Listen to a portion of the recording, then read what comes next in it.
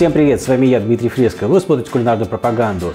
Решил я приготовить сегодня одну штуку, э, начинку, завернутую в лаваш. Как это назвать, я еще не придумал, поэтому посмотрите ролик и предложите свой вариант. Хочу не просто завернуть начинку в лаваш, а запечь потом это дело в духовке.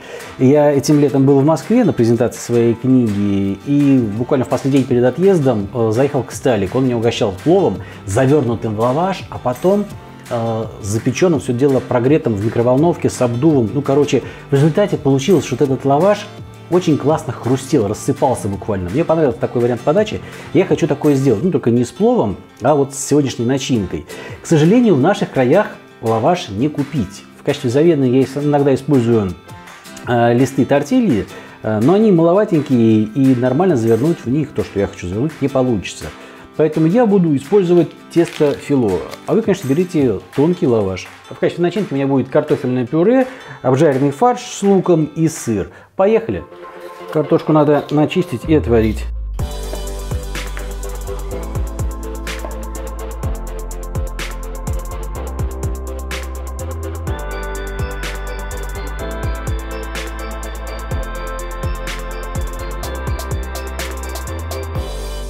Для фарша, он у меня говяжий, лук надо почистить и обжарить.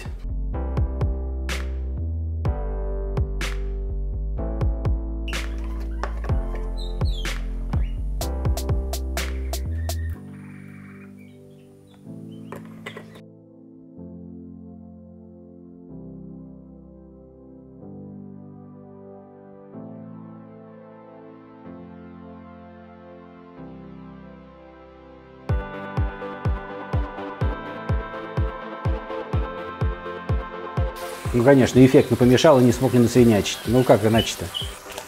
Сыр надо нарезать брусочками.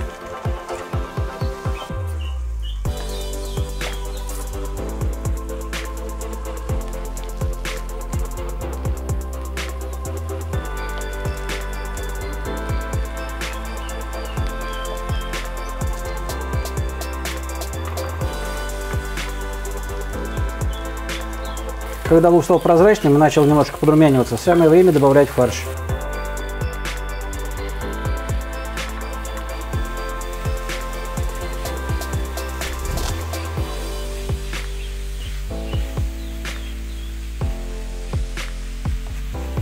К фаршу хочу добавить протертых томатов. Может быть свежих, но они у нас уже, мягко говоря, не ахти. Вот так будет достаточно.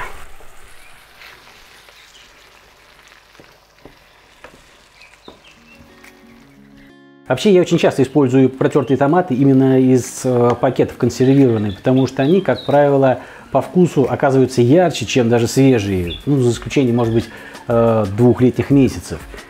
Но такие томаты все по вкусу разные. Одни более кислые, другие более сладкие. Поэтому я всякий раз выправляю получившееся блюдо на вкус, добавляя соль, сахар. Сахар практически всегда приходится добавлять.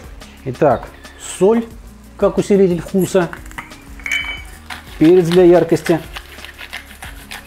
Можно его побольше. И такой же усилитель вкуса сахар. А, у меня такой мелкий. Но вкуснее, конечно, будет коричневый. Перемешать. Отлично.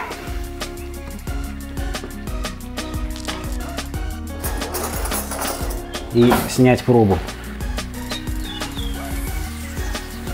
Вот это вот.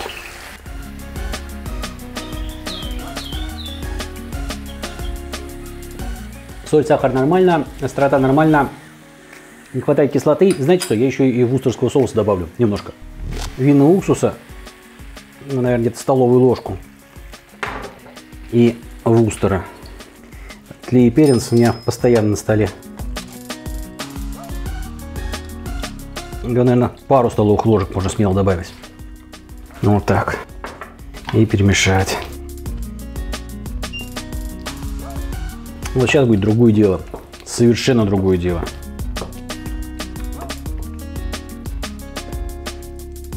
Отлично. Все, начинка из фарша готова. Картошка тоже готова. Сливаем с картошки воду и делаем пюре. Пюре у меня будет самое стандартное с маслом и молоком.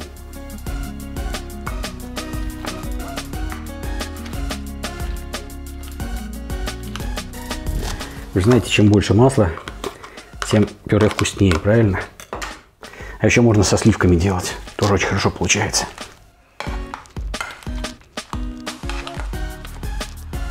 И время добавлять молоко. Сто раз я слышал, что молоко нужно добавлять обязательно горячее, потому что картошка станет серой.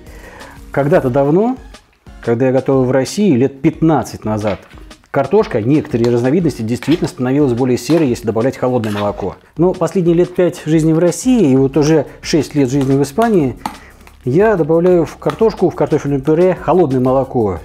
И она абсолютно не становится, картошка, это картофельное пюре не становится серого цвета.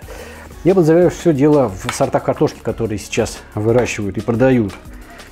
У меня есть э, хороший знакомый, шеф-повар ресторана. Так вот, э, после разговора с ним ну, я выяснил, что единственный повод положить в картофельное пюре кипящее молоко – это добиться более длительного срока хранения такого картофельного пюре. С холодным молоком оно относительно быстро скисает. Но мы это пюре съедим сегодня, поэтому что мне морочиться и лишний раз кипятить молоко?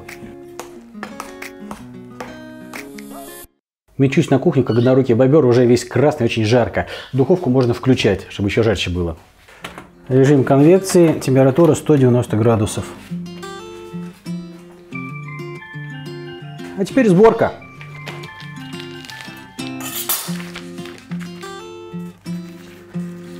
Смотрите, какое оно тонкое. Продается, кстати, в тех же отделах, где и слоеное тесто в магазинах. Видите, как папиросная бумага. Даже слишком тонкое, поэтому мне придется брать несколько слоев. Кладем слой, смазываем его маслом. Обязательно. Я беру растительное масло.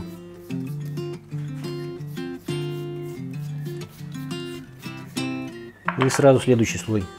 Если готовить с лавашом, то достаточно будет одного слоя. Там заморачиваться слоями не нужно. Так. И опять масло. Не пугайтесь, что слишком жирное, потому что масло растительное. Я кисточкой наношу очень тонкий слой.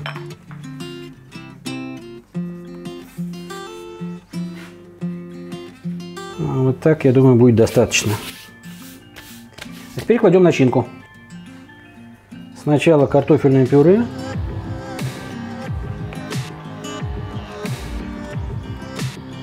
Достаточно широкой такой лентой.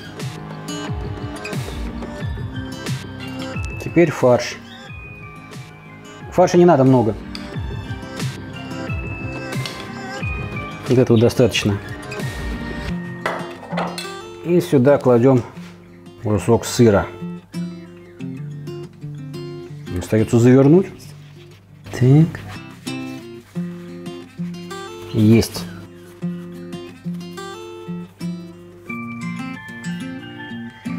Еще смажу немного маслом чтобы оно приклеилось хорошо.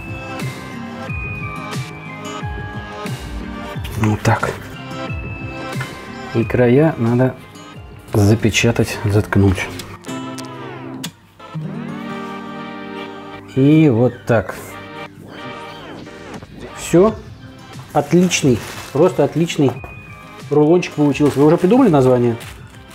Надо застелить фольгой, чтобы легче потом было все снимать. И укладываем эту красотень.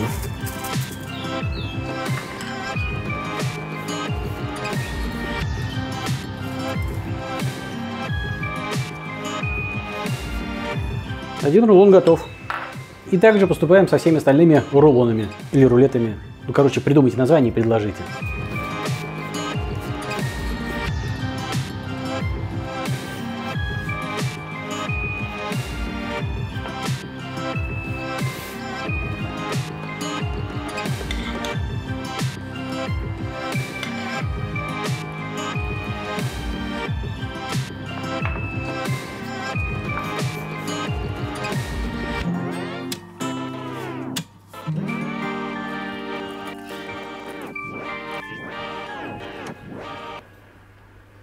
Навертел рулетов, убираю их в духовку. Сколько по времени, не знаю. Минут, наверное, 15-20 займет. Главное подрумянить это тесто снаружи. Потому что начинка внутри вся готова. Ну, хотелось бы, конечно, чтобы еще и сыр там поплавился. Но это уже так, вторично. Ну, минут через 15-20 загляну.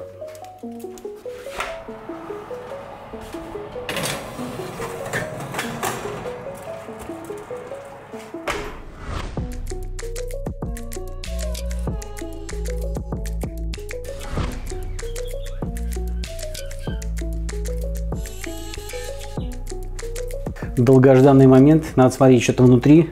Попробую разрезать. Вот слишком тонкое тесто фило, поэтому оно такое лопается и расползается. Я думаю, с лавашом было бы удобнее. Так, ну и что здесь у меня получилось?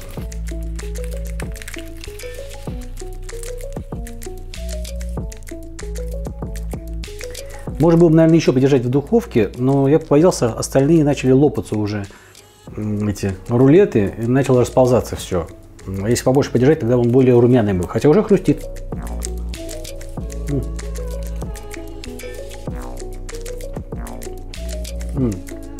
Вкусная штучка.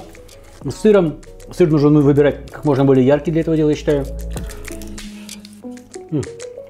Классно. И основную идею, которую я в этом деле, в этом рецепте предполагал развить, это использование э, не свежеприготовленного пюре и не свежеприготовленного фарша, а такого, который, допустим, остался. Допустим, делали вы блины с э, фаршем, с мясом, у вас немного осталось. Куда его деть? Разбавили его томатом, немножко сдобрили соусами какими-то на свой вкус, перцем, прочим. И вот это небольшое количество фарша с достаточно большим количеством картошки можно пустить вот на такие классные рулеты. Или не рулеты. Короче, придумайте название и предложите. А. Дядя Будзагада. Огромное спасибо за компанию. Ставьте лайки, дизлайки, репост. Не забудьте нажать колокольчик, чтобы не пропустить новые видео. Всем пока!